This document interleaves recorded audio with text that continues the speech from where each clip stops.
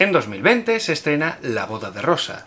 Una mujer, al parecer al servicio de todo el mundo, comienza una nueva vida teniéndose en cuenta y comienza casándose con ella misma. Pues soy yo el único que se toma en serio esta boda.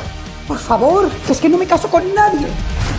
Que no hay marido, que me caso yo sola. Rollo Me Too. Una propuesta interesante si no fuera porque esa misma historia la cuentan ya decenas de artículos hablando de este fenómeno, la sologamia, que quiere decir casarse con uno mismo. Por cierto, este tema lo estuvimos viendo hace un par de semanas en directo. Si no lo pudiste ver, te animo a que te suscribas a mi canal secundario, Psicoblog en directo.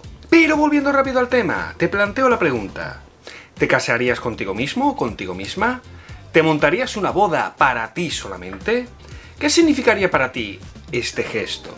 Y describiendo vuestra opinión en los comentarios, a ver si varía un poco a lo largo del vídeo, porque ya os adelanto que esto es el futuro. Realmente, ¿qué significa la sologamia? Mai Serrano, la escritora del libro Me caso conmigo misma, nos da una respuesta. Casarse consigo misma significa dar un paso al frente y decir públicamente que yo soy mi prioridad, que me voy a querer, me voy a cuidar, me voy a respetar y voy a serme fiel el resto de mi vida.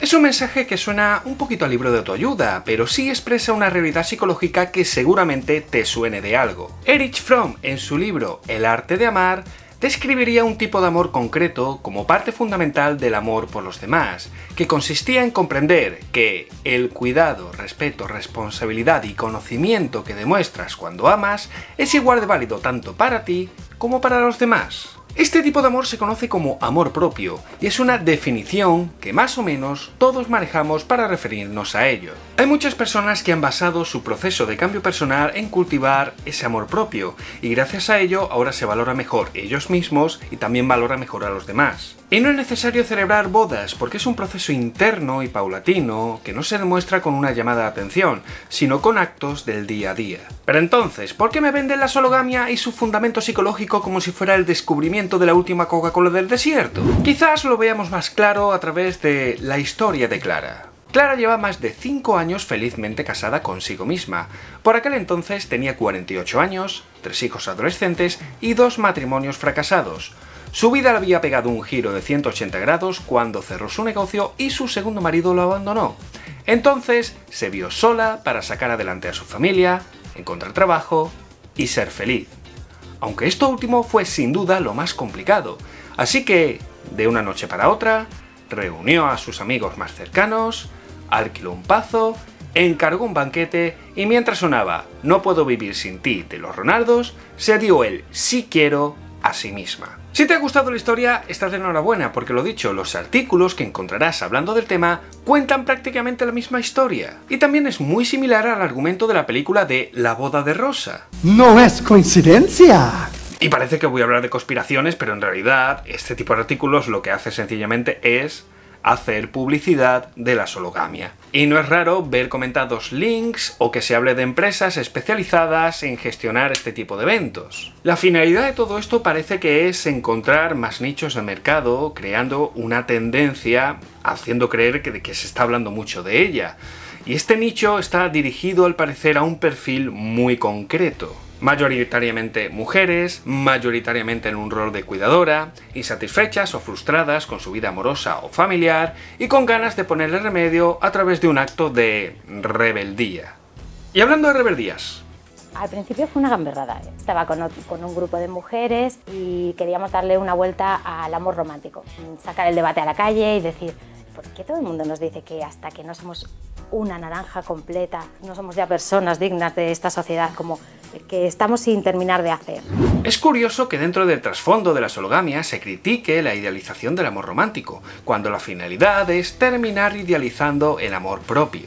Y es que cuando mezclas el concepto de la felicidad con no depender de nadie y con completarte a ti mismo, completarte a ti misma, aunque en principio parece un mensaje muy valioso, en realidad esconde algunas cosas bastante perversas. Y os digo que la sologamia puede ser la posibilidad en el futuro, porque es una idea que nace de las carencias del presente. Para empezar, concebimos el concepto de felicidad como algo altamente psicologizado, es decir, que la felicidad forma parte de nuestra psique, como puede ser los pensamientos o las emociones. Nadie puede negarte que pienses o que sientas, por lo que la felicidad se convierte en un derecho, una prioridad. Y al ser un elemento psicológico, solemos pensar que nosotros mismos producimos nuestra felicidad de igual manera que producimos nuestros pensamientos. Y a ver, para que no haya errores, todo lo anterior es falso, solo estoy reproduciendo el pensamiento general que se transmite día de hoy sobre la felicidad. Por eso se observa un imperativo hacia la felicidad, que se busca satisfacer llenándonos de estímulos placenteros que nos hagan sentir triunfadores, diferentes, únicos, y por supuesto teniendo como prioridad nuestra propia felicidad. Nosotros mismos somos sujetos absolutos de derecho único e indispensable. Esta forma de concebir al individuo parece un tanto narcisista, y lo es, y corresponde con la definición que da el filósofo Gil Lipovetsky de hiperindividualismo. Una individualidad absoluta, donde el individuo deja de depender de los demás y busca su realización y satisfacción por sí mismo exclusivamente. Los rituales grupales apenas tienen empuje en la sociedad actual y son ridiculizados como algo arcaico o antiguo. La familia también se considera algo prehistórico frente al relato sofisticado del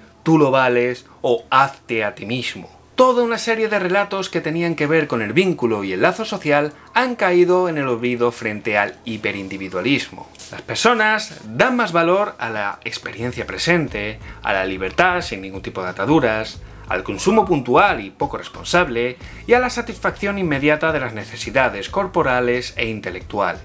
Esto puede fortalecer nuestro ego, pero debilita nuestras relaciones sociales, es lo que el sociólogo Zygmunt Bauman definía como amor líquido. Todo aquello que no cumple con el requisito de la inmediatez, del usar y tirar, es desechado, y esto se traspasa también a las relaciones personales. Las relaciones están marcadas por el individualismo de ambos miembros. El contacto es efímero. Las relaciones amorosas se basan más en la atracción física que en una conexión profunda a un nivel más personal.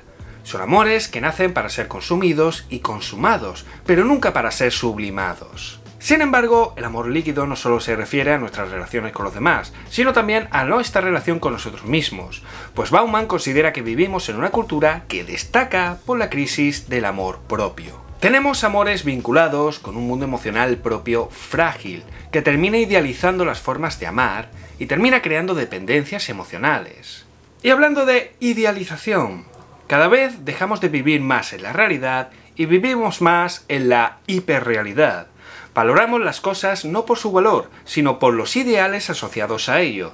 No aceptamos la realidad, sino una idealización de la misma. Y ahí está la diferencia entre cultivar el amor o idealizarlo. La idealización siempre tira de slogans, etiquetas y ritualismo. Por eso muchas veces no se aceptan las relaciones, sino las ideas relacionadas con ellas. Las interacciones se convierten en pruebas constantes de que se cumplen requisitos personales, más que si en un contexto donde dos personas se dan a conocer.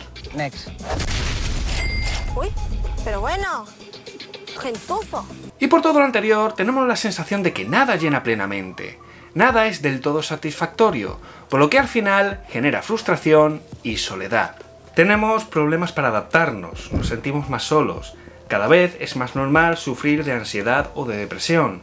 La soledad, entendida como la falta de contacto con cercanos, se convierte en un problema de verdad. Y claro, en este panorama surgen infinidad de alternativas, entre ellas la sologamia, que no parece una mala opción.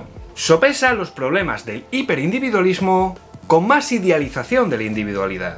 En la serie de Netflix Ultra Secretos, la madre de Regan decide casarse con ella misma, como una forma de reafirmar su narcisismo y también para llamar la atención de su ex. Y más allá de la sátira de la serie, hay algo de verdad. La sologamia es un producto que satisface esa necesidad de ser único y diferente. La sologamia es la celebración de la idealización del amor propio. Te permite tener tu momento, sentirte especial, a la vez que simulas un compromiso social que tampoco es, porque no hay validez legal. Entonces, también el peso de dejarlo todo escrito era como muy heavy. y si mañana ya no pienso esto, pues no pasa nada. Igual ya no pienso esto mañana. pues, pues a otra cosa. Simpson, usted es un ser diabólico. Y sí, empiezo criticando unos anuncios descarados y esto se termina convirtiendo en toda una crítica a la sociedad actual. Por eso digo que la sologamia es el futuro. Para empezar, exige de su tiempo y potencia todo lo que este tiempo ofrece. ¿Pero eso significa que pienso que aquellas personas que se casan con ellas mismas son unas narcisistas? Para nada. Como dije antes, es un producto que satisface una necesidad de una población concreta, y esa necesidad nace dentro de ese contexto social. Aunque por supuesto no descaro que haya gente que sí lo haga con una necesidad personal muy grande de llamar la atención. Sigo teniendo fe en las relaciones interpersonales sinceras. Estamos en un tiempo donde todo se está volviendo cada vez más artificial, incluyendo las relaciones amorosas. Amorosas y bueno, en realidad de cualquier otro tipo.